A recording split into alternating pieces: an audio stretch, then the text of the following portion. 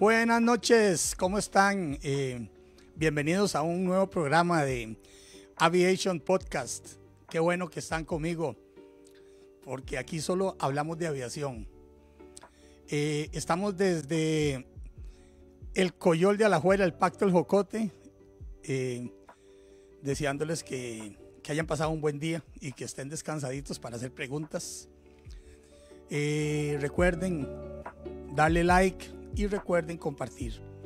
Hoy es una noche especial porque hoy tenemos un invitado de lujo, ¿verdad? Eh, y así los vamos a tener todos los jueves. Hoy vamos a tener a don Rodolfo Marín Conejo en vivo. Eh, en un momentito lo estaremos ya presentando. Eh, voy a mandar un saludo muy especial a, a, COFA, que es la Asociación Costarricense de Fotógrafos Aficionados a la Aviación, especialmente a mi buen amigo, al capitán eh, Luis Diego Romero y a todos ellos que sacan unas fotos excelentes, de verdad, qué, qué respeto de fotos. Y como lo dije en el programa anterior, deberían de darles un lugar adecuado para que tomen fotos eh, con más tranquilidad, donde nadie los moleste y donde tengan una mejor visión de los aviones. Eso es un tema que quedó pendiente y que vamos a tocar más adelante. También quiero enviar un saludo muy cordial, un abrazo grande a mi buen amigo Fabián Vargas. Eh, Fabián eh, siempre ha sido un luchador, un valiente y ya sabes todo lo que te admiro y todos los días oramos para que salgas rápido de ese hospital y te dar una frase de, Nelson Mandela que dice, el hombre valiente no es aquel que no tiene miedo, sino el que conquista ese miedo. Así es que para adelante y vamos a salir bien un, abrazo grande hasta, hasta donde estás. Bueno, eh, vamos a seguir, eh, eh, empezar el programa. Bueno, ya hicimos los saludos. Recuerdan que les había dicho que la trivia pasada y se me olvidó decirles cuál era. Bueno, por si ustedes ninguno la, ninguno la dijo. O sea, ni la batearon ni la escribieron. Así es que les voy a decir. La pregunta de la trivia pasada era que a qué país fue que llegó el primer Baxi entonces. Bueno, pues fue a Nicaragua, no fue a Costa Rica como me dijo uno, fue a Nicaragua. Y la trivia de hoy, la trivia de hoy para que la escriban apenas puedan es, eh, ¿cuál fue el primer DC-7 que aterrizó en Costa Rica? ¿De qué línea aérea fue el primer DC-7 que aterrizó en Costa Rica? Eh, esa es la trivia que me la pueden decir apenas, apenas terminen ustedes de, eh, ya cuando estemos acabando con el programa. bueno, eh, vamos a ver. Eh, gracias por el saludo, claro. Diego, usted sabe que, siempre lo recordamos eh, y los tenemos en alta estima, todos los fotógrafos. Ellos me tomaron fotos muy buenas. Bueno, no a mí, al avión y al aterrizaje y todo eso, y, y verás que se lo agradezco. Bueno, hoy vamos a hablar un poco del comandante don Rodolfo Marín Conejo. don Rodolfo Marín fue todo una institución, una leyenda, viviente porque gracias a él lo tenemos vivo. Ustedes saben que ahora el, el, 28 de mayo cumple 93 años. Y si ustedes lo vieran, bueno, ya lo van a ver. Don Rodolfo Marín nace un 28 de mayo de 1930 en Barrio México. Fue vecino de mi papá. 28 de mayo. 28 de julio. junio, 28 de junio. Bueno, un mes más, un mes menos. Ahí está. Siempre valiente. Eh, sus padres fueron Augusto Marín Rico y su madre Clemencia Conejo Rodríguez. Eh, a los ocho años empieza con el gusanillo de la aviación. Dice que un día el hermano estaba viendo por el patio hacia arriba. Entonces dice, ¿qué es lo que estás viendo? Le dice, eso que está ahí era un avión que bajaba en picada. Entonces eh, dice que ese fue el primer enamoramiento que tuvo con aviación. a los 12 años hizo tres aviones de madera. Ojo, un B-25, un P-38 y un Bonanza. Oiga, con con, 12 años, ya la fiebre la tenía en la sangre. A los 15 años inicia un curso por correspondencia de aviación en una escuela llamada National School of Los Ángeles, California. Ahí sacó el curso teórico de aviación. A los 15 años, o sea, ya era un fiebrazo, ¿verdad? Eh, don Rodolfo hace su primer vuelo como estudiante un 1 de diciembre de 1948 en la escuela Taxímetro Aéreo Costarricense. Voló en las empresas Servicio Aéreo Hondureño, SASA, AVE, ALPA, LAPA y el LAXA, en la que finalmente se retira un 23 de junio de 1990. Bueno, ahora, ahora me, me, me, estoy equivocado. Voló 24 aviones diferentes, con los que hizo aproximadamente 24, bueno, no aproximadamente no, porque era como lo lleva, 24.679 horas. Hizo, porque todo lo llevaba al pie de la letra, eran como tiene ese libro, 13.800 aterrizajes, los apuntó. Recuerdan que como yo apunté, eh, no, bueno, eh, además de las horas, como les dije, que para mí no era, no era tan importante las horas, sino los pasajeros que la tripulación y, yo trajimos sanos y salvos. Que yo les hablé, de una cifra. Bueno, él tuvo la, la, curiosidad de apuntar los aterrizajes. Bueno, no es curiosidad porque hay una casilla en Habitáculo donde se ponen los aterrizajes. Lo que pasa es que yo nunca he visto que nadie los sume ni los reste. Bueno, eh, entonces vamos a, hacer un corte pequeño para acomodarnos aquí para recibir a don Rodolfo. Ya volvemos. Bueno, aquí estamos eh, nuevamente. Nos acompaña eh, el comandante Rodolfo Marín Conejo. Que, don, don Rodolfo, un honor que usted esté aquí sentado a la par mía. Bienvenido. El honor es mío por haber sido la primera persona que ha convocado a este programa. Eh, primero que todo, eh, unas buenas noches a todas las personas que nos, que nos están observando. Eh, don Rodolfo, yo fui ingeniero de vuelo suyo, ¿verdad? Sí, yo fui ingeniero de vuelo suyo en el 727. ¿Ingeniero vuelo? Sí. Don Rodolfo, ya vimos más o menos qué fue lo que lo, lo, le llamó a usted la atención de ser piloto. Ya vimos que ese gusanillo, ese avión, ¿qué le dio por hacer aviones? ¿Y cómo hizo los aviones de madera? ¿Cómo fue que los hizo? ¿Con cuchilla? ¿Con, con una cuchilla de zapatero y con troncos de, de café. ¿Y, ¿Y, le salieron bien? Sí, claro. ¿Y no le tomaron fotos? eh, el, los cuerpos eran de madera y las, las de aterrizaje eran botones. Botones. Qué barbaridad, qué, qué, qué bueno. ¿eh? Eh, ¿Cuáles fueron los, los, los, aviones con los que usted inició aviación? El primer avión que volé fue un Piper, Piper Cop eh, de la Escuela de Aviación de Taxímetro Aéreo Costarricense. ¿Así se llamaba? ¿Taxímetro? Taxímetro Aéreo Costarricense. Porque taxímetro así se llamaban las compañías de taxis de, de, de, de tierra. Correcto. No sé por qué sería que le llamaron. Bueno, en aquella época yo creo que no le decían taxi, ¿verdad? Sí, sí.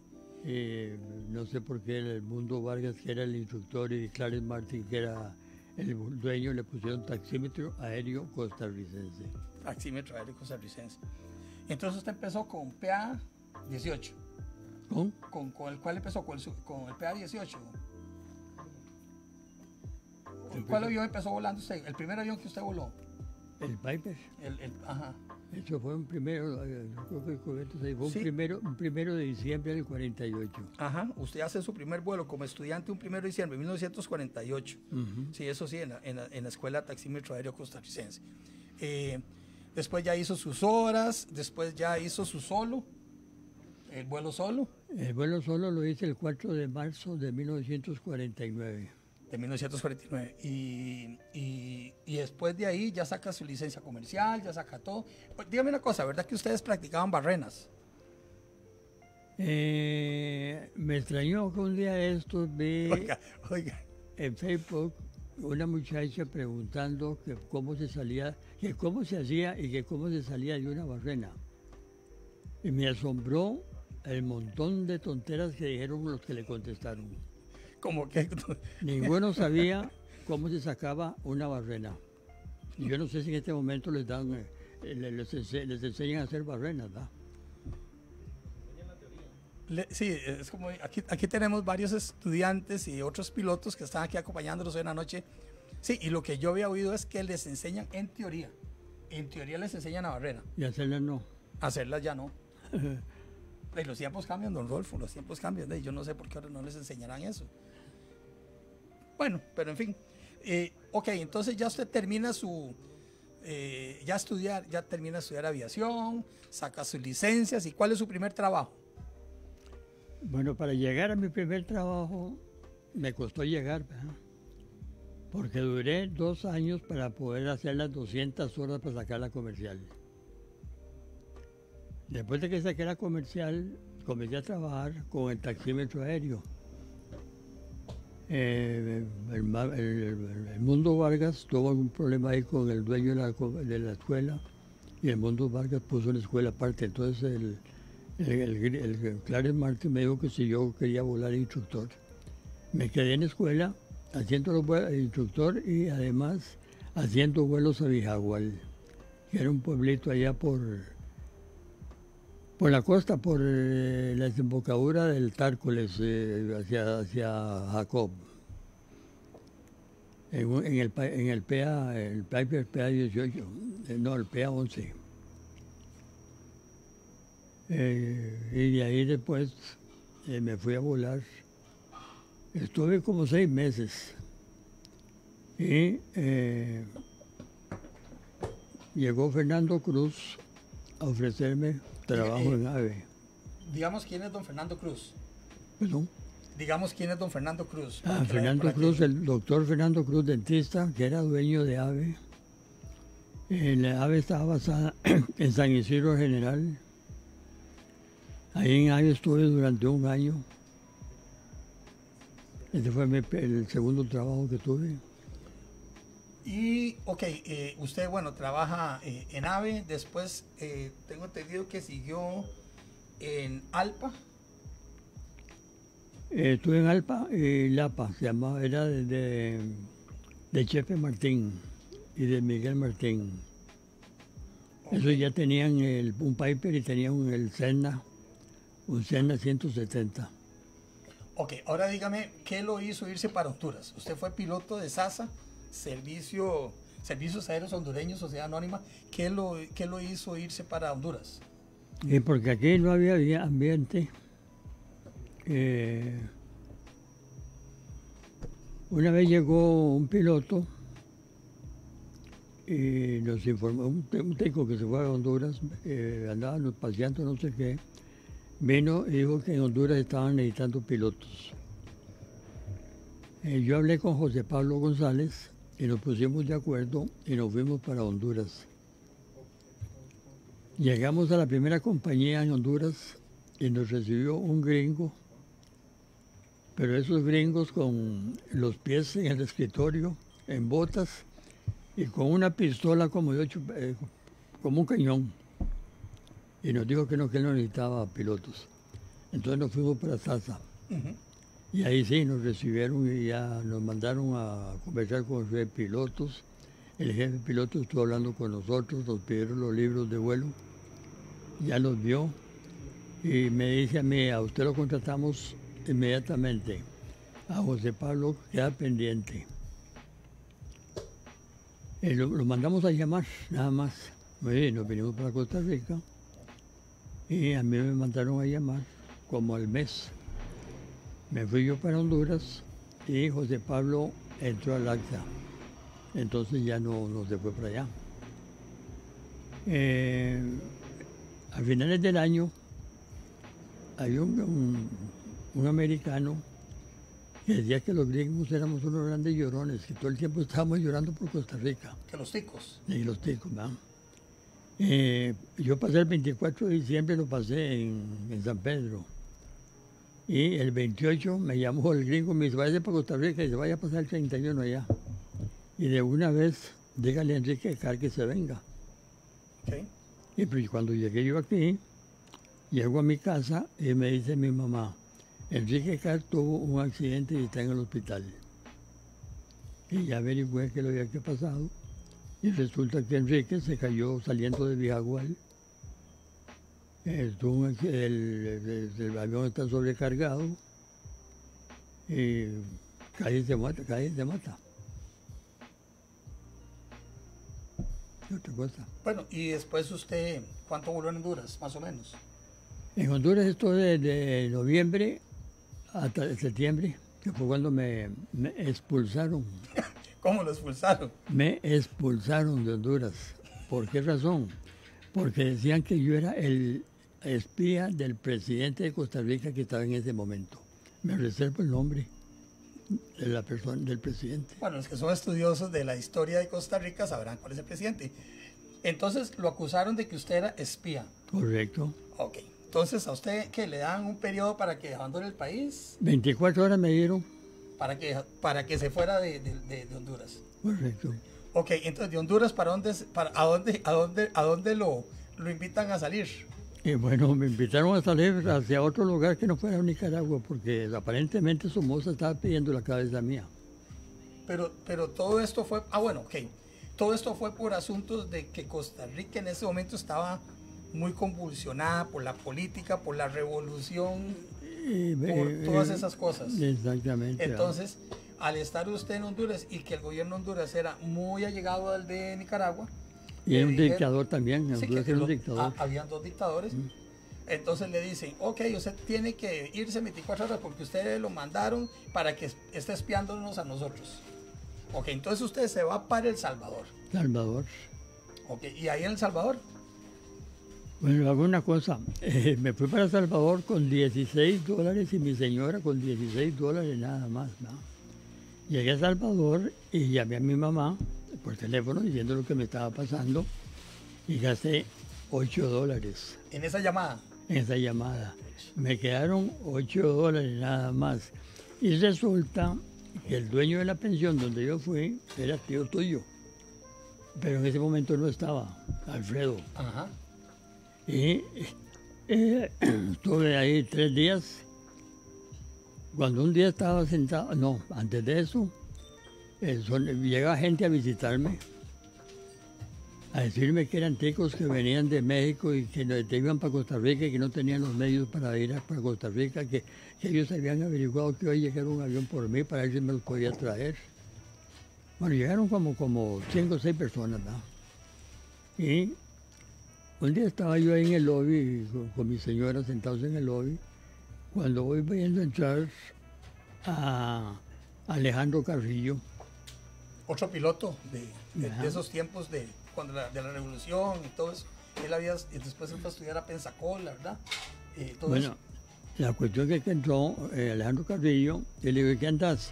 Y me dice, vengo por vos. Y le digo yo, ¿y quién te mandó? Frank Marshall. Porque Frank Marshall fue la, la única persona que me ayudó a mí de- en el gobierno. ¿no? Frank lo mandó, eh, ya nos... Y resulta que llegó un muchacho en ese momento, llegó un muchacho de que si lo podíamos traer, pero que había perdido el pasaporte. Le digo, vamos para Costa Rica. Y ya nos vinimos en el 180 y ya llegamos a la sabana y ya estamos en Costa Rica, gracias a Dios, ¿verdad? Y ya pasó ese trago amargo. Ajá.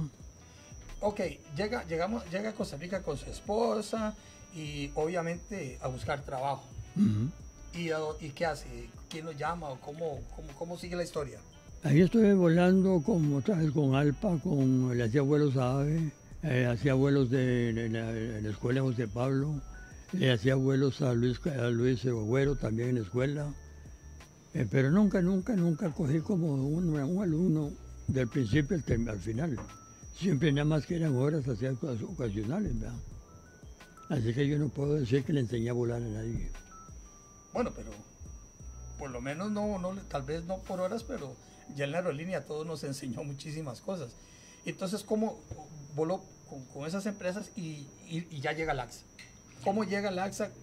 ¿En qué fecha llega el AXA? O, Bueno, eh, resulta que estando en la casa, en mi casa, en la casa de mi señora, sonó el teléfono y era una la secretaria de, operaciones del AXA. Y me dijo eh, que si yo tenía interés en entrar al AXA. Y digo, claro que sí. Y me dice, bueno, dice, usted no está convocado. Están convocando y a usted no lo han convocado. Dice, pero preséntese. O Dili huyó. Y de verdad, tal día es lo de los exámenes. Y llegué yo. Y yo era el único piloto hecho en Costa Rica. Los demás todos venían de los Estados Unidos, de México y de Argentina. sí, de las escuelas, ¿verdad? de las escuelas, ok. De, de las escuelas de, de, de Spartan y el- escuelas muy buenas, ¿verdad? Sí, claro. Y yo lo que sabía de aviación era lo que había aprendido en, en- en- en- ¿cómo se llama? En el curso por correspondencia. Y las vuelas de oro, pues sí las había hecho en Costa Rica. Y el de arriba me ayudó porque quedé primero. Con todo y estar compitiendo con, como decir, eh, Con la crema y nata. como decir, digamos, Parrita jugando contra el Saprissa, su equipo. Bueno, los goleamos, el Saprissa gal- golea todo. Eh, pero gracias a Dios salí adelante, ¿verdad? Pero eso no es todo. Eh, eh, había que estar tres meses de prueba. Y me llamaron de, tenía como un mes de estar de, prueba. Por eso yo entré en AXA el primero de diciembre del, 40 del, del eh, 55. Me llamaron del AXA de operaciones y me dijeron, mira, hay un problema con usted. Digo, ¿cuál es el problema? Me dice que la edad máxima para entrar al AXA son 25 años. Y usted tiene 25 años y 4 meses. Y entonces la LAXA no va a poder recuperar la plata que se le va a invertir a usted en entrenamientos. Por cuatro meses, va. Muy bien, dice, pero lo vamos siempre a dejar a prueba. Resulta que en aquella época, yo no volaba, le pagaban cinco colones la hora. Eh, un vuelo, eh, un avión se varó en Limón y entonces mandaron a un piloto, me mandaron a mí con piloto y un mecánico Pero, pero ya en Laxa no. en AXA. Ok, en la- entonces siempre, siempre lo aceptaron con esa edad. Bueno, por por tres meses. Por- ah, ok, entonces era como, ¿cómo le decían ahí? En ese tiempo era, era de prueba. Si su resultado es bueno, si no, todo te pedían, ¿verdad? sí. La cuestión es que eh, ya hicimos el vuelo a Limón, el capitán despegó de Limón y me preguntó, ¿qué horas tienes? Yo voy a ver el reloj y le dije, las, eh, la una y 25. Me vuelve a repetir, ¿qué horas tienes? Le digo, la una y 25. A la tercera vez le dije la 1 y 27 y volví a ver el reloj que tenía el piloto al lado de el, piloto en el avión, ¿verdad? Se vuelve y me dice, voy a decir una palabra que a mi tata no le gustaba decir. Coño, te he preguntado qué horas tienes. Así no se contesta, se contesta 19 y 25. Hora azul, ¿ah? hora universal. Y sencillamente yo no, si esto va a ser así, llego a San José y de una vez renuncio. Me bajé del avión y fui a operaciones y no estaba ninguna de las tres personas que estaban ahí siempre ahí. Entonces bajé de operaciones y me fui al cuarto de radio. En el cuarto de radio estaba Oscar, a Oscar Ríos Ajá. y le pregunté, Oscar, ¿dónde están los de operaciones? Me dice, no sé. Digo, bueno, es que voy a renunciar ya. Me dice, no, no, no, no, ¿cómo se te ocurre? Dice, ahí tengo una orden de que el, digamos, esto fue el lunes, eh, que el miércoles vas para México a un entrenamiento y vas con Raúl Calvo. Pero resulta que este entrenamiento era, era una cama, porque llegamos a México y eh, fuimos a Mexicana de Aviación, ya nos presentaron a la persona que nos iba a dar entrenamiento y se preséntese mañana aquí a las 8 de la mañana. Y llegamos y nos metieron en el, vos conocés el link. Sí, sí, el link ¿Has era, sí, sí, link? correcto, el link era aquella, Sí, la limita. lo tapaban y todo. Exactamente. Duramos como media hora volando en el link, eh, ya lo cerraron y comenzamos a hago un viraje de 90, hago un viraje de 180, hago un viraje de 330 y así. Y dos días antes de terminar, era una semana el entrenamiento, dos días antes de terminar el entrenamiento, dice el hombre, bueno, tiene que hacer un examen. ¿Y cuál es el examen? Nos sacó unas figuras eh, que había que hacer la figura. Digamos, por ejemplo, una L. Pero una L no, no una raya así nada más, sino que una L, una L volando, eh, digamos, eh, un ejemplo, de aquí- del norte. Volando dos minutos al norte. Un 180 al sur. Y aquí eran, aquí eran dos minutos y aquí eran dos minutos quince. Pero basados en una radioayuda. En nada, nada más que ahí sentado uno en el avión, en el avión, en el simulador ese, y tenía que hacer la figura esa. Mentalmente. Y el problema era que casi no se veía la brújula.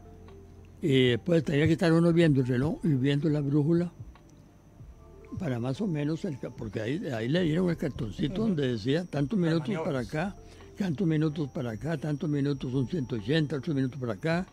Era difícil la cosa. Y tenía que estar uno, por ejemplo, eh, bueno, poniendo ejemplo, el norte y el sur es muy fácil. Pero, por ejemplo, si yo te pongo a vos, te digo que vamos con 135 grados, un viraje a la, un viraje a la derecha o la izquierda, el rumbo es de ese tipo. Pues es que por lo mismo. ¿Mm? Es, que, es, que, es que son cosas que, que no estaban acostumbrados ustedes a hacerlo. Eh, Es decir, el, el, el- el es- las maniobras eran diferentes. Y a mí me parece que hiciera como una trampa, como una Claro, celada. para claro que era una trampa. Mira, después pues, llegamos a donde está la trampa. La cuestión es que después de la L nos pudieron hacer una B. En la misma forma, eh, con rumbos. El rumbo no, no te decían rumbo, sino que nada más que te decían los minutos. Vos, vos escogías el rumbo que vos ibas a hacer y después basado en ese rumbo tenías que seguir la figura. Y bueno, y, y- Y, y gracias al de arriba salí bien, pero en ese momento no nos dijeron, sino que dice, bueno, yo mando los resultados a San José. Y nos vinimos, y como a los ocho días nos llaman y me dice, usted quedó, usted quedó bien, Raúl Calvo va afuera. Raúl Calvo no pasó. Y solamente a Raúl y a mí le hicieron esa, esa, esa, esa trampa. Los demás que entraron conmigo, a ninguno los ¿y mandaron. con a- qué fin? eh, para contarme el rabo.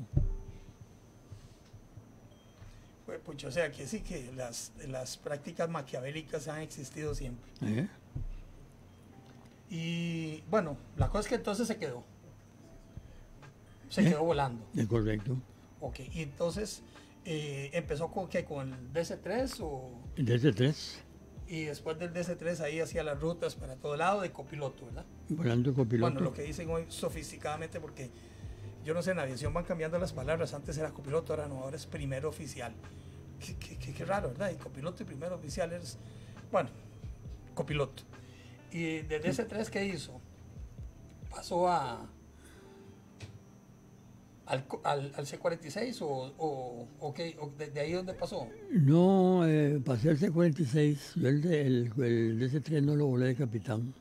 Ok, Pasé al C-46 y volando el C-46, no, antes primero eh, ingeniero de vuelo del DC6. del DC-6. O sea, usted del DC3 pasó a ingeniero vuelo de DC6. Eh, es que no, en esa época volaba, en esa época volaba de ingeniero en el DC-6, copiloto en el C-46, copiloto en el DC-3 y capitán en el C-45. Todo a la vez. Todos a la vez, ¿verdad? Hasta que llegó la... eh, Sí, por supuesto, es impensable eso. se, se estableció de que era un peligro estar volando cuatro aviones diferentes para estar uno con, al día con los cuatro aviones. Entonces se decidió dividir los que volaban DC-6, los que volaban Combi, los Combi ya se habían ido, los que volaban C-46 y los que volaban DC-3. Ok. Ok. Entonces, eh, pasó a ingeniero de vuelo S6 Ujú. y después de ingeniero de S6 De ingeniero de vuelo pasé a copiloto del Del DC-6. Ah, del DC6. Ok. Y después de copiloto de 6 sí pasó a capitán de C46. Eh, pasé a capitán de C-46. ¿Y, cuán- ¿Y cuánto voló el seco ahí, más o menos? No, no, pues, tampoco sé, pero más o menos que un par de años. o- Ah, sí, claro. no, Bueno, pero de todas maneras, de copiloto vale un montón de años, ¿verdad? Ajá. Y aquí- Esto, esto que tiene aquí don Rodolfo, no sé si lo podemos ver. Espere para enseñarlo aquí. Eso que tenemos aquí es una bitácora de vuelo. Eh, esta bitácora, usted ve que la estoy alzando así, pero no tiene idea lo que pesa. ¿Se imaginan las horas que hay aquí, las, las eh, es decir, todas las cosas. Esto, esto es lo que todos los eh, pilotos hoy día tienen que llenar. Yo no sé si ahora lo hacen por computación o siempre tienen que tener el libro. Siempre tienen que tener el libro, tienen que sellarlo, ahí se ponen, por ejemplo, se pone el día, la ruta, el tipo de avión, la matrícula, eh, los aterrizajes, los, los, despegues, se pone si es un vuelo visual, si es un vuelo nocturno, si es un vuelo eh, por instrumentos, si es un aterrizaje de precisión o no precisión. Eso es lo que se ponía, no sé si se sigue poniendo. Ok, ese es el libro de vuelo de don, de don Rolfo Marín, ahí está el nombre. Ese es el número, el número 7. Ah, bueno, ese es el número. El, libro número 7. Este es el vean ustedes, vean ustedes el libro número 7 y las, y, vean las páginas. Es decir, es, eh, como les digo, es un verdadero privilegio que estén todos aquí. Veanlo aquí. Y, y, yo no sé si ven ustedes ahí donde está el nombre, la bandera, eh, y cómo se llama, ¿qué más tiene ahí? Bueno, la comunidad del, de nuestro amor, ¿verdad? Que era Laxa, la Laxa de nosotros, la, la Laxa que tanto añoramos y que, eh, bueno, ya no va a volver. La verdad es que mejor ni hablar de eso porque se le puede salir las lágrimas a un Rodolfo a mí. Puro, puro final, puro final. Vamos a ver, el puro final. Que sí, todas las horas y súper ordenado, como, como tiene que ser, no sin parchones ni nada, como hacen, como hacen, como hacían algunos antes que. Bueno, yo recuerdo que, que antes si usted manchaba una hoja, se, papito la vuelve a hacer yo no sé si ahora aguanta el brinco que tengan marchones y, cosas de eso. Pero, ¿qué estamos buscando aquí, don Rodolfo? el último vuelo. Eh, vamos a ir un corte, ya volvemos mientras encontramos todas las cosas de aquí y, y ya volvemos. Denos un segundo.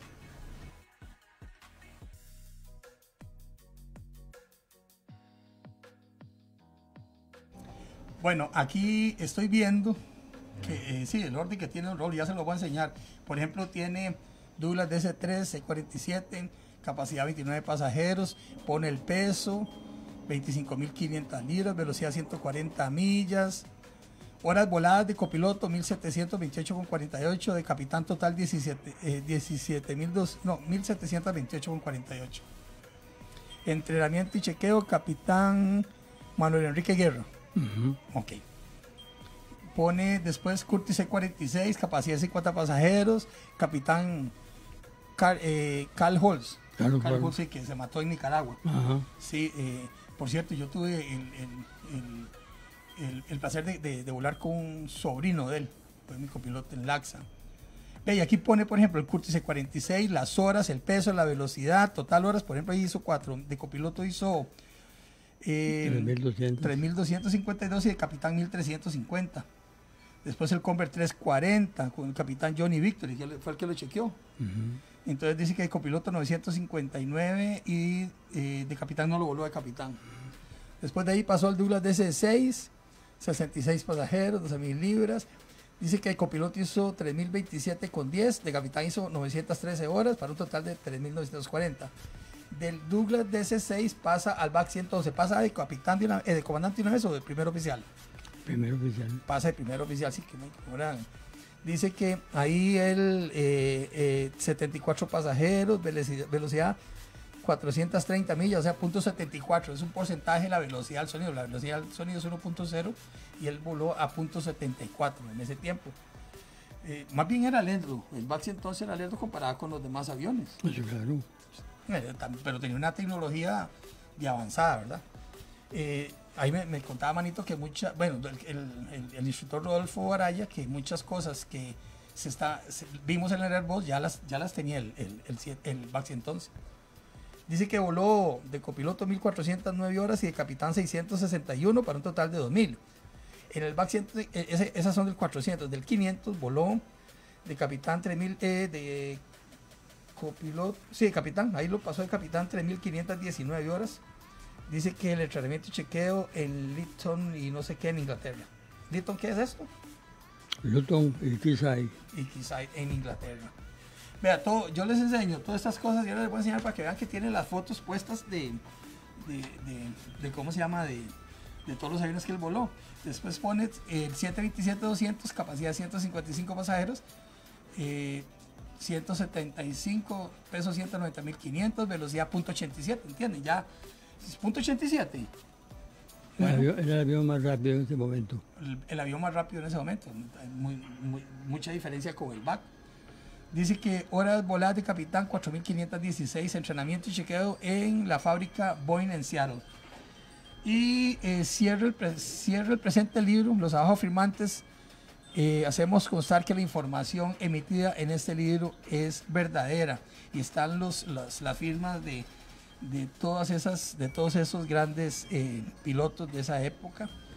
Eh, Brian Bonilla, Armando Rojas, Rogelio Navas, Adrúbal Corrales, está Rodrigo Alonso, está Javier Jenkins, está Fournier, está, está Rodolfo Cruz, está William Pará, Roberto Acevedo, Carlos Ramírez, que paz descanse, Orlando Coto, Carlos Vargas, eh, el zorro, perdón, Fernando, Edgar Zamora, bueno, el zorro, El, cariñosamente. zorro. El Zorro Zamora, sí. Fernando Borracé, eh, está eh, Jorge Escalante, Jorge Alfaro, Manuel Contreras, eh, este, ¿cuál era esta firma? De Roberto Escalante, está Enrique Araya, que paz descanse, Álvaro Antillón, Luis Laje, bueno, ahí todos están, ahí estamos todos.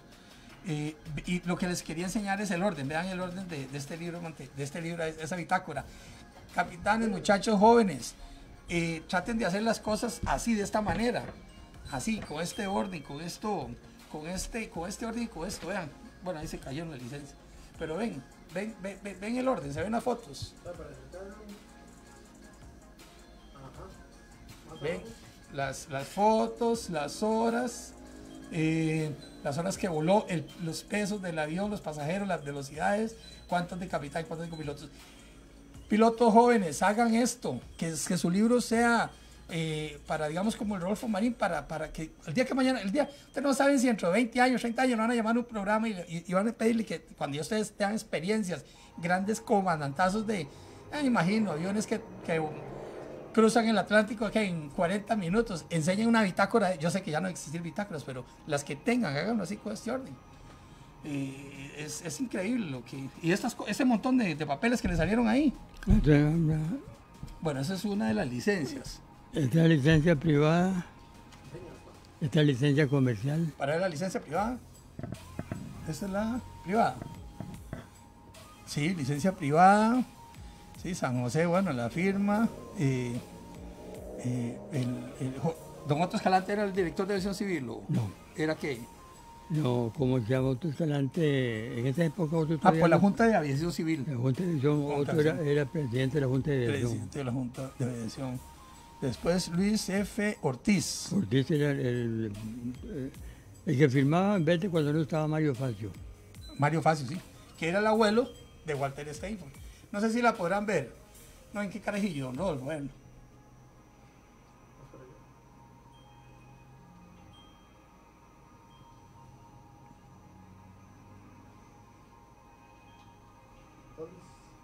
¿Está bien? Ok, ¿y esa que está ahí? La comercial, Esta es la. co- de- pero es- es- es- esta foto, a mí que no me diga, pero esta foto es como cuando usted jugaba con Saprisa. Pues usted sabe que él jugó con Saprisa, ¿no? Bueno, ahora que hablas de jugar, decime a ver a ver. Vean, esta es la de, esta es la de, la de, ¿cómo se llama? La licencia comercial. Vean, no, don Rodolfo no que era un Wililla. Qué lindo, ¿da? Que éramos todos cuando estábamos carajillos, don Rodolfo. esta es la, la licencia. Y vamos a ver. Este era cuando don Rodolfo jugaba con el glorioso, vamos a ver. Bueno, si- no, pero ah, no, no, espere, para ver. A ver si conoces a alguien ahí. Claro, aquí iba papá. ¿Usted está aquí también? Ahí está. ¿Pero usted también está? Sí, claro. Oiga, yo a mi papá. Vamos a ver, don Rodolfo es este. No, no. Eh, Este, eh, Decir que yo dije. Sí, sí. Ve, esta es una foto eh, de, el deportivo que era ese, los hacheros de Barrio México, ¿cómo era? No, no, no, no, eso era, esa era parte de la gimnástica y, y llegamos a entrenamiento con un equipo de, de, de, eh, de Perú, yo creo. Ah, el- Ya, ahí, ahí- ahí está la foto de mi papá. Ese que tiene el sombrero de, de, de- de- el- en una bolsa. Lo tiene ahí. ¿Lo ven? Aquí. Bueno, pues ese es el equipo de, de Don Rodolfo. Porque también jugó fútbol. Y de ahí, él, él siempre. Y usted sigue siendo sapricista, ya no. ¿Eh? Sigue siendo sapricista. ¿ah? Bueno, mejor no, No. conteste porque dijo que una cosa, mejor no conteste. Don Rodolfo, eh, ¿cuál, ¿cuál de todos los aviones que usted voló, de los, de los 24 aviones que usted voló, cuál es el que más le gustó? Bueno, digamos, por ejemplo, en avionetas que no se... Que no se Bueno, eh, vea, esa es otra cosa. Ahora ya no se dice avionetas sí. porque se resiente. Bueno, pues eso mismo. Pero, no, el, el otro día me dijo eh, Arias, eh, ese gran amigo mío, Manuel Arias, eh, que le mando un saludo, me dijo, no, ya está aceptado por la, por la academia, por Real Academia que se diga avioneta. Y no es motivo para que se sientan mal, es una avioneta. Y, y los pilotos que vuelan avionetas son valientes y siempre he dicho que los admiro muchísimo. Ustedes no se tienen que dejar ir por porque les digan como, como le digan a su avión. Ahí, nosotros en Laxa no tuvimos un avión que le decían la Soriñaca. A- eh, el 727-100, acaso nosotros siempre reclamamos algo. Bueno, Bueno, eh, entonces hable de la avioneta. Bueno, eh, la avioneta, exacta, eso exactamente iba yo a decir eso. Eh, cuando uno sale de la escuela, o cuando termina uno con la licencia, le dan un cartoncito que no mide ni, ni, ni 3 pulgadas por 2 pulgadas. Pero las verdaderas escuelas y donde se obtienen las alas, las alas de vuelo, es una avioneta. Porque ahí aprende uno a valerse por sí mismo uno tiene que tomar decisiones. Y esas decisiones o lo matan o lo salvan. Pero uno es el que tiene que tomar decisiones. No sentarse en un avión, nada más que poner eh, la computadora y que el avión hace todo. Así que yo no sé por qué se ofenden. Más bien deben de estar orgullosos de que salen en un vuelo y regresan a su casa en, esa avioneta. Bueno, ahí está. Enseñanza, bueno, pues, todavía hay más preguntas, pero vea- vea las enseñanzas.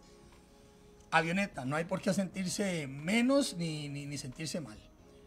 Eh, para todos aquellos estudiantes de, de aviación que a veces me preguntan, que yo les conté a ustedes que se sienten a veces desmotivados, porque vean experiencia, vea todo lo, vea, to- vea todo lo que tuvo que pasar don Rodolfo para llegar donde llegó. Es decir, todo cuesta.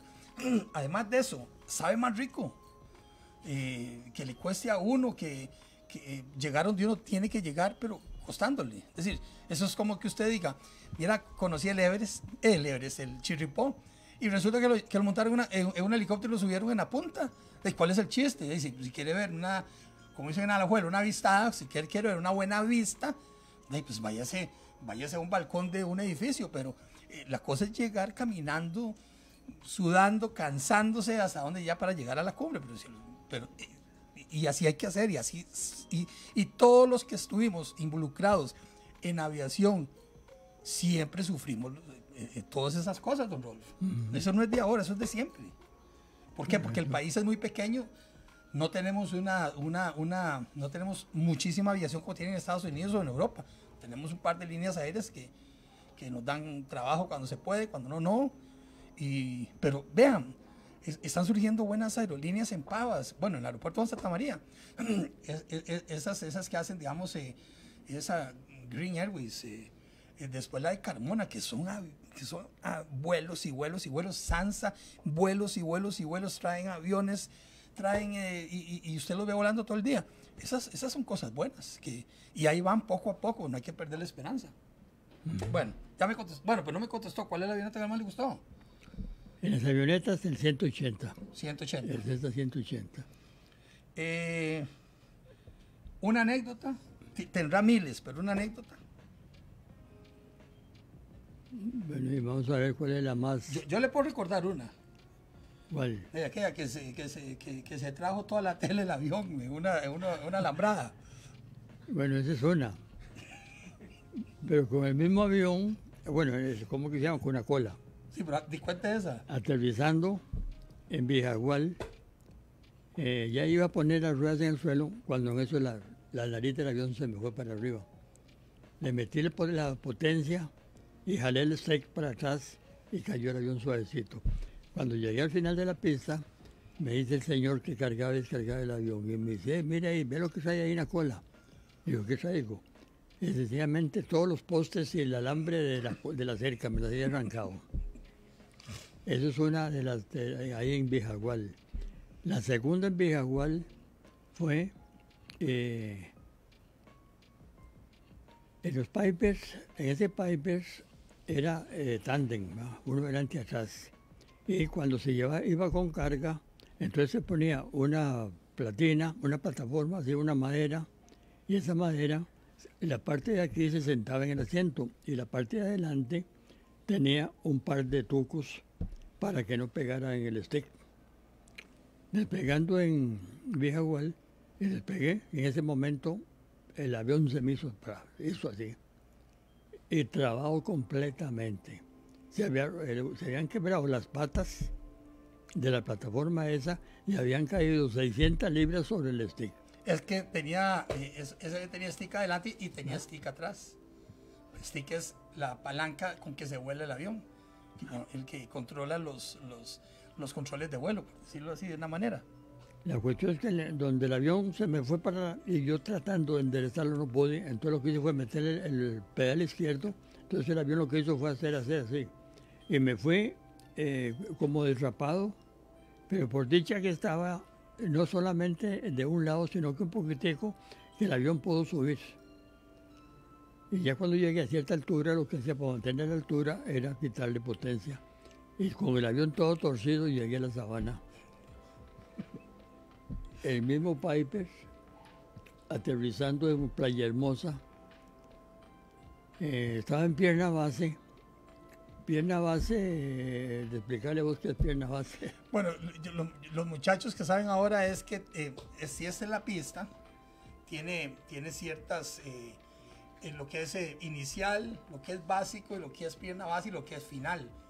Eso es más o menos de lo que él está hablando. Cuando uno despega y hace esta cosa, esta, estas maniobras para volver a aterrizar, o cuando usted viene en aproximación, que es pierna final.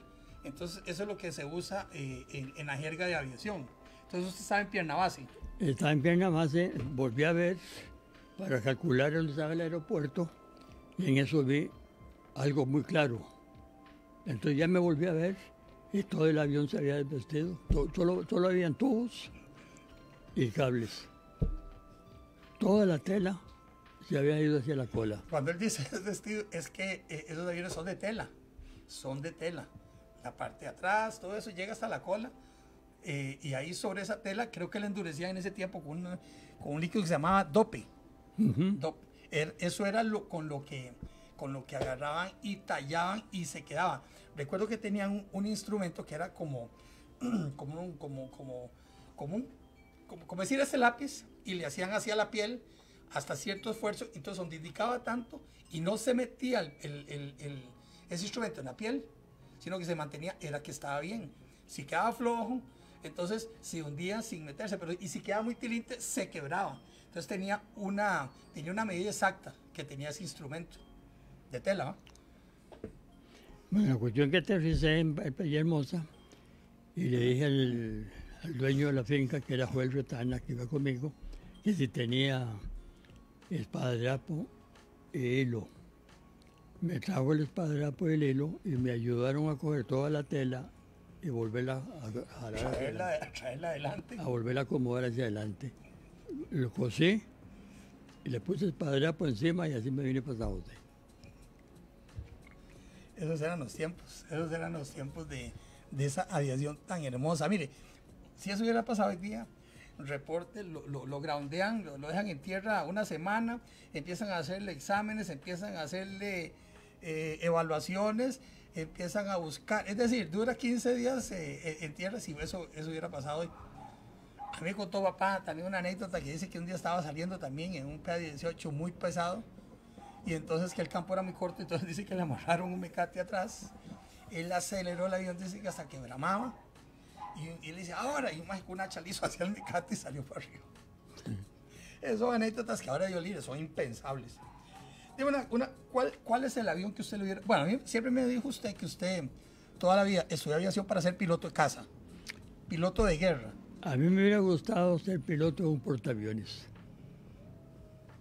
Pero eh, sencillamente no, no, tenemos aquí en Costa Rica ni Fuerza Aérea ni, pero, pero yo, portaaviones, ¿va? Yo no sé, pero a mí me contaron por ahí, no, usted no me lo contó, pero me contaron por ahí que usted inclusive se fue a la Embajada Americana de Voluntario para que lo mandaran a la guerra. ¿Y es cierto eso? A, Corea, sí. Vea, vea, lo que es la vida. ¿Y que ¿No le dieron pelota? No, que va, fui como ocho veces y me dijeron que no, que si pagaba yo el tiquete que fuera, que si no, no. Pero resulta si que pagaba, ahí... Si pagaba el billete para ir a la guerra. Sí, están locos los cabrones, ¿no?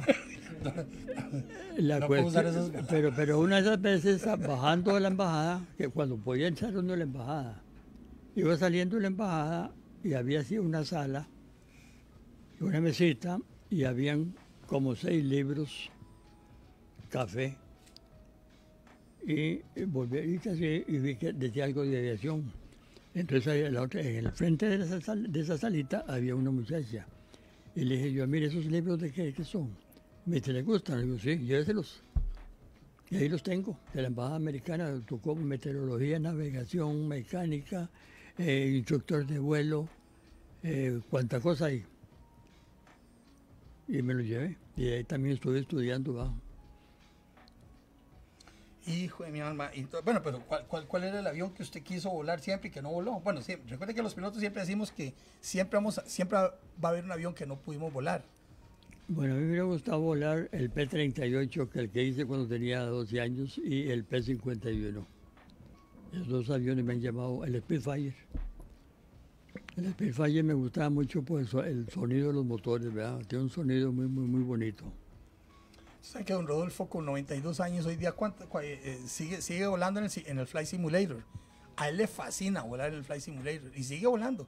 Yo no sé cuántas horas se mete a volar y yo sé porque él es él a veces se comunica con mi hijo Juan y, se pasan volados para ver cuál avión vuela y cuál no. ¿Cuántas horas vuela usted más o menos de, en ese Flight Simulator y cuáles aviones vuela? Eh, es que hay unos, hay unos aviones que tienen, me gusta volar, digamos, lo que es instrumentos de antes, ¿verdad? Donde uno anda con los ADF, con los BOR, eh, y no anda ahí con, con los Garmin, ¿verdad? Eh, uno hace uno el plan de vuelo y uno tiene que ir siguiendo ahí el plan de vuelo por tiempo y por rumbo y por facilidades de, navegación. el que más me gusta es, digamos, eh, hay, tengo cuatro programas, pero los cuatro programas el que más me gusta es el FSX del 2007, el Flight Simulator del 2007, 2007. Y, el X, y el X10 porque el X11 y el X, el nuevo de la el Microsoft, Microsoft eh, tiene muchos problemas. Y entonces no me gusta usarlo, ¿verdad? Pero ahí vuelo P51, vuelo LF18, vuelo, digamos, eh, el mismo Piper, eh, un, J, un J3. El J3 es el que tiene motor por los cilindros por fuera. Sí. Ese es muy bonito porque se entretiene uno, no tiene que estar preocupando de nada y viendo para afuera y, feliz de la vida. Esos son los aviones que más, le dicen que los que más se vuelan, el Piper y el F-51. Bueno, pero mal que bien, no es lo mismo, pero sí tuvo, por lo menos tuvo la oportunidad de volar esos aviones que fueron aviones de sus sueños. Que eh, quisiera que, el tiempo no pasara tan rápido y, y poder seguir exprimiendo eh, todas esas experiencias. Don Rolfo, ¿qué, ¿qué, consejo le daría usted a los pilotos jóvenes, a los que a los que ya están volando, a los que quieren empezar a volar, a los que... ¿Qué, les diría usted así como... ¿Qué consejo? Yo sé que, que a veces a ellos no les gusta que le den consejos, pero ¿qué consejo le daría usted a esos muchachos? Mira, en este momento yo no podría darle ningún consejo con respecto al vuelo porque sencillamente yo no estoy enterado eh, la clase de instrumentos y la clase de facilidades con las que están volando. Pero como personas, y sencillamente que cumplan con su obligación como pilotos, que sean responsables.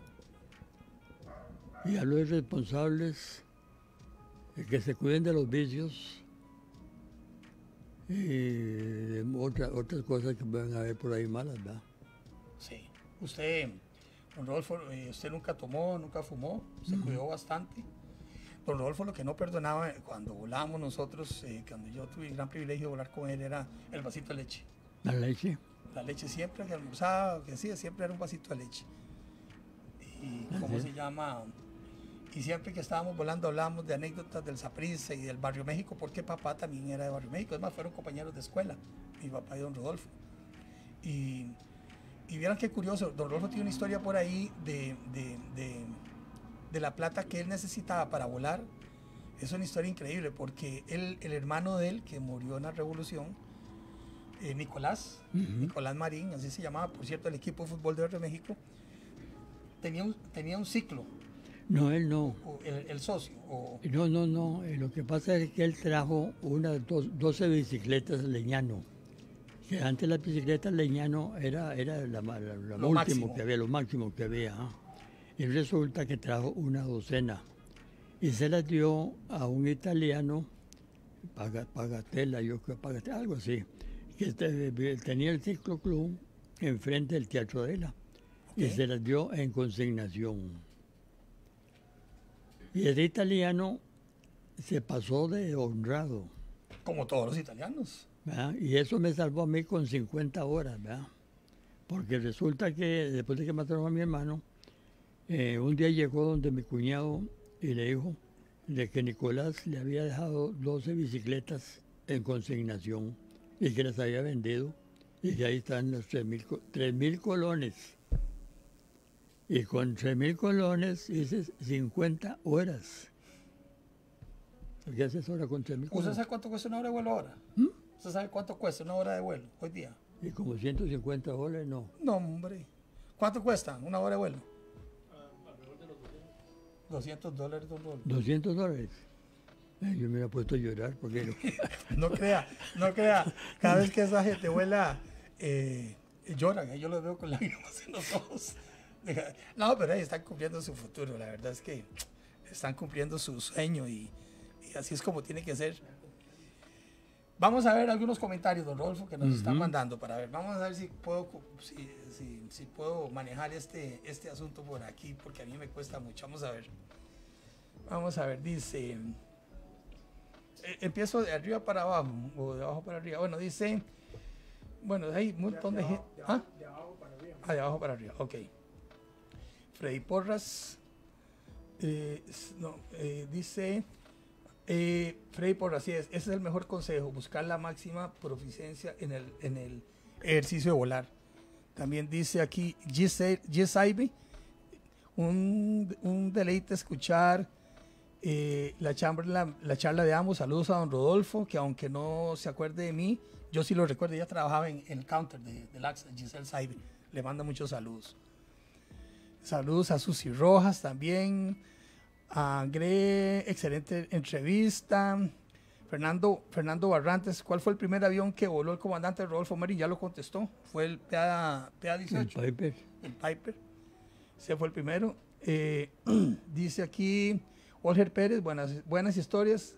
Se hace corta una hora para escuchar la voz de experiencia. Saludos, capitanes. Después dice aquí Enio Tatoli.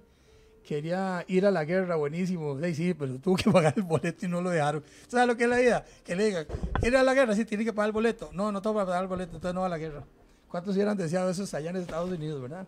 Carlos Montero, el dope era una especie de laca, ¿ves? El dope era una especie de laca. Nosotros usábamos eh, este estereofón que derretíamos con, con thinner y se hacía como un verniz, nos dice Carlos Montero. Carlos Eduardo Vargas, nuestro amigo, nuestro común comandante Vargas, dice, le- eh, él y yo nos decimos Lencho, eh, porque usted no es de colegio, entonces Lencho, don Rodolfo dijo que la avioneta, que la que más le gustó fue el 180 y en aviones pesados, ¿cuál? ¿Mm? Eh, en avión, o sea, ¿usted le gusta el 180 y en aviones pesados, cuál fue el que más le gusta o le gustó En bien grandes. en aviones grandes? Bueno, sí, sí. Después- El, el DC6 me llamó mucho la atención y después el 727 ni se diga. Entonces ya ven, el DC6 y el 727, el, el C46. No, Casi, claro que sí. Ok, eh, todos, entonces todo Lencho. Sí, casi todos. Rafael Jain, un saludo al mejor suegro. Ujú. Eso es, ese es eh, Sí, un yernazo. Ajá. Ok. Entonces, saludos a don Rafael Jain. Dice Fernando Barrantes, un saludo, comandante, bendiciones. Fernando Araya, saludos, un abrazo grande. Eh, Tatiana Vega, excelente comentario, muchas gracias. La Bella, Freddy Porras dice, así es, 100% de acuerdo con el comandante Marín. Ben- eh, benditas las avionetas. Dice Alfredo Arias, sabias palabras, don Rodolfo, mis respetos. Kevin Corella, grandes comandantes, saludos, gracias Kevin, un abrazo. Franklin Campos, qué buenos recuerdos. César Goldoni, este es, este es hijo de don César. Ya César. Sí, el que todos quisimos tanto. Saludos al comandante Marín, nuevamente felicidades por el programa. André Proti, que es un comandante también de, de, voló eh, Caraván y estos aviones. Qué gusto escuchar las historias, don Rodolfo. Giovanni Bruno, mi hermano, hice un abrazo a don Rodolfo. Eh, Caleb Valverde, muy bonita la entrevista. Freddy Porras, qué belleza. Roberto Campos, saludos desde Nicoya, don Rodolfo Marín y Bruno, el más, los más aficionados de la aviación. Un saludo, ah, un saludo, Roberto Campos. Tengo que ir al taller un día que me inviten. Freddy Porras, eh, secundo el comentario de lo que dijo. Dice Franklin, eh, Franklin Vega, los pilotos ticos los mejores. Freddy Porras, saludos comandante Marín, maravilloso escuchar tanta experiencia y pasión por lo que tanto amamos los aviadores, pero sobre todo mi admiración porque él es de esos aviadores que volaban sus aviones dentro de las manos grandes limitaciones tecnológicas. Sí, en ese tiempo no había, la tecnología era nada más tal vez la brújula y un AF, ¿no? Eh, dice Capifly, de mi gran amigo Gustavo Abarca, que tiene un programa lindísimo también de, de, de entrevistas de aviación. Ajá. Yo he ido varias veces. Es más, la otra vez fuimos, ¿verdad? ¿Se acuerdan? Eh, con antes no olvide meter pilotos de aviación liviana. Invitar, claro, sí, sí, los vamos a, los vamos a invitar. Ahora les enseño más o menos el, lo que tenemos planeado para los otros programas. Marco Inicio Urbina Aguirre, saludos al comandante Rodolfo Marín, que, ex- eh, Rodolfo Marín, que excelente el, de, el, el- el programa de hoy. Saludos, Andrés Prote, saludos y bendiciones a ambos. Carlos Montero, saludos, capitanes, desde las montañas de San Rafael de Heredia, qué lindo lugar. ¿Está haciendo frío por ahí? Eh, eh, nieto. ¿Ah? Nieto, no. No, Carlos, Carlos Montero. Carlos Montero, no. ¿Es nieto suyo? No, no, no. Dice Carlos Valgo otra vez, un gran abrazo para el comandante Marín de parte de uno de sus ingenieros de vuelo en la época eh, del Boeing 727. Dice, pregúntele que si ya tolera los camarones. ¿Quién está preguntando? Carlos Vargas. Carlos Vargas, Carlos Vargas, sí, el hijo de Ricardo Vargas. de los camarones. Sí, que si ya... Que si ya Eh, que, que que le sí, pregunte, que, que le pregunte al zorro que me, quede, que me dé una invitación desde camarones. ok, entonces ya sabe el zorro Zamora, le dio una invitación Porque de se, lo- camarón. se- me, se me comió los platos de los míos. Se los comió. Sí, sí, sí. ¿Pero cómo fue eso? ¿A dónde fue eso? ¿Ah? ¿A dónde fue eso? Y resulta que me sembraron unos. eh, eh, llegó el del catering y me ofreció que me iba a poner unos camarones. Y el zorro le dijo que le pusiera bastante cebolla para que yo no me los comiera. Entonces, Qué bueno, ah, qué bueno. acá. así es que se los comió y me dejó a mí sin camarones, ¿verdad? Y, y- y me dio una invitación y no me la paga. A ver, eh, Zorro Zamora, si está yendo el programa, caiga con la invitación a don Rodolfo. ¿ah? Roma Vargas, la bella de bellas. Saludos, eh, comandante Rodolfo Marín. ¿Se acuerda de doña de Roma Vargas? Claro, claro. Sí, sí, bellísima. Trabajó con nosotros en, en Laxa. Dice Marta Marín, saludos al comandante Rodolfo Marín. Marta Marín. Ah, sobrina mía. La sobrina, sí. Dice Giovanni Cubillo, Giovanni Cubillo y Rocío María González, saludos a Rodolfo, mi papá. Eh, y salúdenlos, ¿Mm? saludes.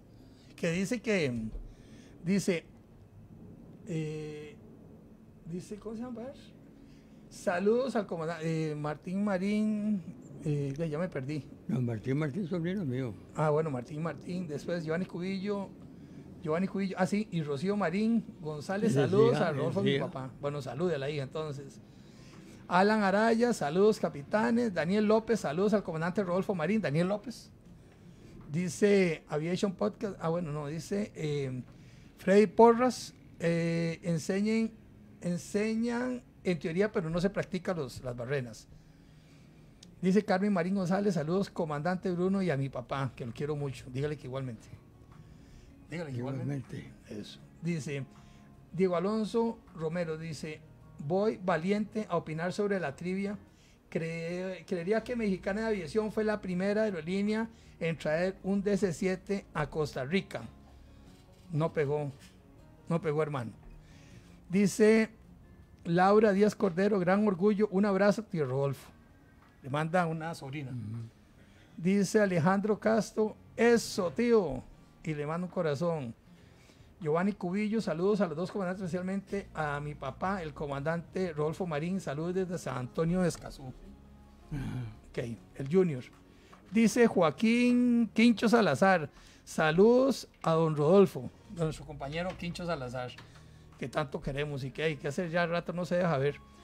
Bueno, dice G. Saibe, qué gusto ver de nuevo al comandante Rodolfo, ya se lo veíamos. Dice Manuel Hain, un saludo comandante Marín de su familia, que los mire muchísimo.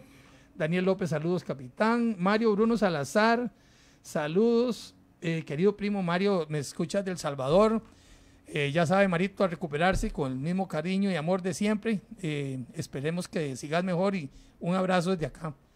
Dice Champion, ¿te acuerdas de Champion Sánchez? Champion. Bueno, un señor fumigador de esos de antes, que lo vamos a traer un día por acá. Saludos, comandante. Alejandra Castro desde Massachusetts, salúdeme a los comandantes Bruno y Marín. Un saludo grande a Alejandro Castro. Carlos Elizondo, un saludo le manda Jaime Luis Elizondo Gómez, aquí viendo la transmisión. ¿Qué clase comandante era Jaime Luis Elizondo? ¿Qué clase comandante? Yo tuve el gran privilegio de ser su ingeniero vuelo y su copiloto en el DC-8 y en el 727. Y no un comandantazo. No solamente piloto, sino como persona. Persona. Un, sí, sí, un, un, abrazo, un abrazo grande, Jaime, y lo vamos a traer aquí también, Jaime. Así es que prepárese. Capifly, saludos, mi hermano Bruno. Excelente iniciativa. Brian Erazo. Brian Erazo dice: Saludos, bendiciones. Brian, un abrazo grande. Aquí tiene, un, tiene, trabaja muchísimo ahí en el Abacar. Es un hermanazo del alma. Saludos a vos y a tu familia. Marco Vinicio Urbina Aguirre, saludos, comandante. Fernando Bruno. Carlos Eduardo Guana, saludos aquí en la primera fila. Alfredo Arias. Omar, Estefan, Mael y Viana conectados desde la Florida. Un abrazo grande, don Luis. Terminamos mucho igualmente. Muchas gracias. Los, los quiero mucho. Aviation, bueno, dice aquí don Alonso Ramírez, gracias por el saludo, aquí los estamos escuchando. Sebastián Chávez, saludos capitán, que le mandé yo ahí otro saludo. Y Freddy Porra, saludos comandante. Eh, qué dicha, ¿verdad? Que tanta gente eh, se reunió para ver eh, el programa aquí con don Rodolfo Marín. De ¿qué les puedo decir? espero que, que así como, como la bolsa de café, así que uno lo hace así, que sale todo, que lo hayan que lo hayan exprimido bastante para que vean sus experiencias, para que vean lo que, todo lo que luchó por ser piloto. Y bueno, qué dicha que lo tenemos aquí, porque él es un, un luchador y una leyenda viviente. Quiero decirles antes de terminar el programa que para el próximo jueves 4, ¿es verdad? El próximo jueves es 4. o hoy es el 20. ¿Y qué es el otro jueves? 27. El, sí, perdón. El próximo jueves 27 eh, vamos a tener aquí a dos compañeros, pero para que nos hablen de los ovnis. ¿Por qué los ovnis? Porque oímos lo que dicen los periódicos, oímos lo que dice la gente de tierra que los ve, pero vamos a ver ahora las experiencias de pilotos, de los que hemos visto ovnis. ¿Usted nunca vio ovnis? Sí. A ver, cuénteme, para adelantar eso, cuénteme, a ver eh, yendo con Alfredo Salazar, con Alfredo Ceredo. o el maestro. Íbamos llegando a Salvador y esa noche estaba muy oscura y estaban cayendo eh, estrellas fugaces. Pero en ese momento pasó una, una estrella, pero no cayendo así, sino que horizontal, pero a una velocidad espantosa. Y puede ser que sea una, un partillo. A la mañana saliente salió el reporte de, Honduras que anduvo dando vueltas ahí un, platillo. Y en otra oportunidad estaba yo en Villa Colón en una hamaca viendo para el cielo y en eso vi como decir un plato y a la orilla del plato un montón de platicos chiquiticos que llegaban y salían, llegaban y como decir una nave madre. Llegaban los hijos, se pegaban y volvían a salir, pero a una velocidad espantosa. Y no sé si sería cosa mía o si ya que estaba viendo. No, no, definitivamente tuvo que haber visto cosas. Sí, yo, yo, yo dije el, el programa anterior de que, de que los pilotos, todos, menos los que andan dormidos en los aviones, o, o, a veces las aerolíneas no, no, nos dejaban hablar de esto. Decían que, que no era conveniente para la aerolínea que se hablara en eso en los periódicos, entonces muchas veces teníamos que callarnos. Pero como les dije, ya me pensioné, igual que don Rodolfo, me pela. Ahora podemos hablar lo que queramos y nadie nos puede poner un zipper en la boca. Así es que, y, y las personas que voy a llamar, que espero que me acepten la invitación, ya también son pensionados. Así es que no, no creo que nada nos impida que podamos hablar y decir lo que hemos visto como le repito, sí se ven cosas. Yo no digo que sean extraterrestres, pero sí le aseguro que no son hechas en la Tierra.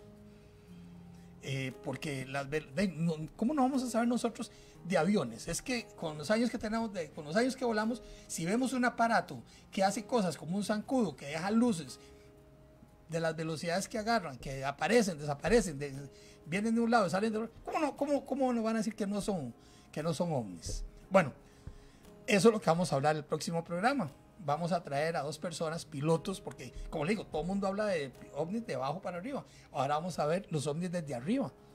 Y, tal vez vamos a traer una, una que otra foto. Y yo creo, porque ya inclusive hasta, hasta las, las, Fuerzas Armadas, las aéreas, ya, ya, ya como que los están dejando que hablen un poco más y digan, pues ya déjense mentiras, digan lo que saben. Entonces más o menos ya están como abriéndose para eso. Entonces nosotros vamos a, aprovechar ese programa para, para hablar de ovnis. Después de ese programa de ovnis, eh, vamos a traer a tripulantes de cabina, a una muchacha que hizo un libro precioso, que espero que ella pueda venir, Madeline, a, hablarnos del libro, que es un libro interesantísimo, porque ella hizo un libro de las experiencias de ella de, Hermosa. Tripulante de cabina, Rolfo, ya no se dice Hermosa, ahora es tripulante de cabina. Y eh, ella hizo un libro que, que, es bellísimo de todas sus experiencias, todo, todo, todo. Bueno, no, no voy a adelantar. Eso es el, el, jueves 11 de mayo. Después tenemos, eh, vamos a traer a alguien de, las empresas aéreas, de la parte administrativa, tal vez uno de Volaris y uno de Sansa o de... para que le expliquen a ustedes por qué es que los boletos, entre comillas, son tan caros. O sea, ellos no ponen los precios porque, ah, porque me da la gana ponerle 200. No, no, no. Hay muchas explicaciones y muchas cosas de las que tiene que lidiar esa pobre gente pues vamos a traer controladores, vamos a traer un par de controladores para que nos hablen, nos hablen de sus experiencias, de las vivencias que tienen ellos, todo eso. Vamos a traer un día a un par de mujeres pilotos, ya sea de helicóptero o de avión pesado o de avión liviano, para que también nos hablen de eso. Queremos traer un par de estudiantes de aviación, usted y otros si quiere, para que vengan también a, decirnos qué son las, o sea, qué son las cosas que los molestan, qué, qué agradecerían ustedes de parte de sus instructores o de gente de experiencia. Porque usted, yo, no sé las escuelas de aviación cómo nos han llevado a una persona a un Rolfo para que lo siente un, rato, no, como dijo él, no hablar cosas técnicas porque ya eh, eh, era otro tipo de aviación, pero las cuestiones éticas, las cuestiones de cómo cuidarse y todas esas cosas. Eh, también queremos traer un par de médicos, como se los dije la vez pasada, para que nos hablen de los cuidados que tienen que tener los pilotos, sobre todo con el cáncer de piel que está tan, tan común ahora en los pilotos por las alturas, por las ventanas más grandes, todo eso. Y también las enfermedades y que, tenemos que cuidarnos, qué medicamentos no podemos tomar nosotros para que, para que no nos salgan como nosotros, bueno, como nosotros nos hacían doping antes, eh, cuando yo volaba, entonces qué medicamentos son prohibidos o qué medicamentos no tienen que, que probar, todas esas cosas. Entonces como que tenemos el itinerario ya lleno. Y yo, veo que ya poco a poco la gente va, se va uniendo más al, podcast. Por eso les digo, siempre denle like y compártelo para que más gente oiga, por ejemplo, una persona como Rodolfo Marín. Hoy, hoy hubo sesenta y pico de personas, yo no sé ni cuántos, que, que tuvieron la gran bendición de oír eh, las experiencias de Don Rodolfo. Don Rodolfo, no me queda más que agradecerle infinitamente el que nos haya acompañado hoy. Eh, usted sabe que aquí este, este lugar es, es, su lugar, aquí Inclusive yo tengo un vídeo ahí que me regaló don Rodolfo, un vídeo de un 727 se, se le quebró en crucero. Ya, la última, la última, ya la última ya para irnos. Cuéntenos de ese vídeo. Era un vuelo de noche, veníamos de Miami eh, con Roberto, con Alfredo Acevedo y más o menos como a un lado de Swan Island Swan Island era una isla hondureña y hay, un, un, ADF ahí. Y veníamos más o menos ahí cuando comenzó en el vídeo eh, la, resistencia de calentamiento del vídeo comenzó a, como se, A derretir. se veía así fuego. O sea, sí, eh, Y un momento a como otro, una resistencia que se calienta. y de un momento a otro, ¡pum! explotó y se rajó todo el vidrio. ¿Era el de este lado? No, la, el, de la- el- el derecho. El del frente. Ok. Eh, se rajó todo, entonces tuvimos que hacer un descenso de, de emergencia a la altura que se recomendaba, 24 mil pies. Tuvimos, y veníamos a 33, tuvimos que bajar a 24 para ya identificar a ver si era por dentro o por fuera la rajadura. Pues Tiene diferentes capas. Ya nosotros notamos que era por fuera, entonces podíamos seguir con la diferencial de la presión, ya había bajado, entonces ya no era peligro de que el vidrio se despegara y continuamos para el coco. La diferencia de, de la presión es que el avión se infla. La- eh, se infla cuando sube. Entonces, eh, eh, ellos lo que querían era bajar el diferencial de presión para que el avión no estuviera tan inflado y que no estallara el vidrio, o sea, que no saliera. Ah, claro. Y el vidrio es este. Pesa como los diablos, ¿verdad? Pero aquí está, veanlo. Ah, no sea bárbaro, ¿cómo dar este vidrio para que yo lo. No ve? No sé. ¿Y por qué nos vamos? Está, atrasado eso. ¿Ah? Ahora sí. ¿Lo ve aquí? Este es el vidrio que venía don Rodolfo Noé. Vea cómo quedó. Se ve bien ahí. Lo duda así porque, ¿qué va? De don Rodolfo, no me ayuden, qué bárbaro. Así está, vean, es este. Vean qué cosa. Y pesa como, bueno, y tiene un montón de capas y lo ven ahí como... Tiene varias capas y lo ven como se quebró ahí, como, se- como se ha quemado aquí. Que pasando el dedo, pasando el dedo se ve que por, no es por dentro, sino que por fuera. Sí, sí, esta es la parte de adentro. No, de la parte de afuera. Sí, Pero aquí es donde se siente. Porque si hubiéramos, si, si hubiera sido por Ah, sí, a aquí eso, está. hubiéramos tenido que descender menos. Sí. Entonces lo vieron aquí. ¿Se ve? Bueno, entonces ¿qué es eso? Hay que desayunar bastante para, para levantar ese vidrio. Bueno, ahora sí, don Rodolfo. Algo que quieran ya para terminar. Y pues nada más que agradecerte a vos por la invitación y agradecerle a todos los que nos dieron las felicitaciones. Que muchísimas gracias. Y espero que este programa suba para arriba lo más, lo más que se pueda. Así es. Hoy nos acompaña Fran González y Lan Solís, como siempre, Juan Francisco Bruno y Luis Elizondo en los controles, en las cámaras y todo eso. Y pues agradecerles y, vernos, el, vernos el otro jueves, si Dios quiere. Ya saben, rieguen a bola, compartan, denle like, porque yo no sé qué es lo que pasa. Yo creo que es más gente y más, más ven. Así es que les- de verdad agradecidísimo por haber estado con nosotros esta noche. Y recuerde que hablamos aviación. Bendiciones a sus hogares.